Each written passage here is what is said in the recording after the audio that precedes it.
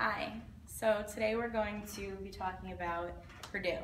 So Perdue is a well-known company that was founded nearly a century ago.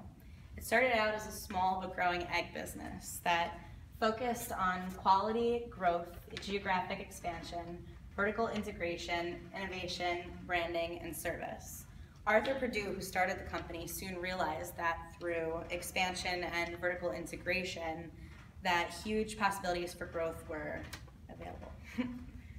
um, the company was well known for producing quality products in a market that was considered tough and highly competitive.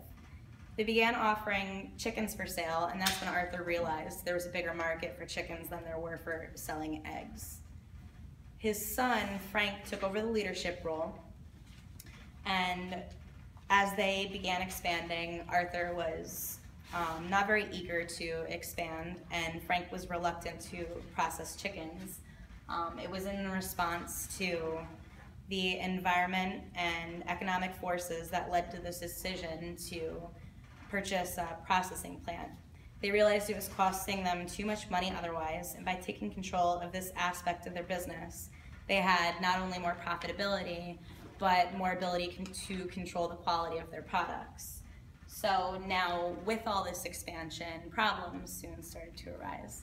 So now my teammates are going to expand on some of those problems.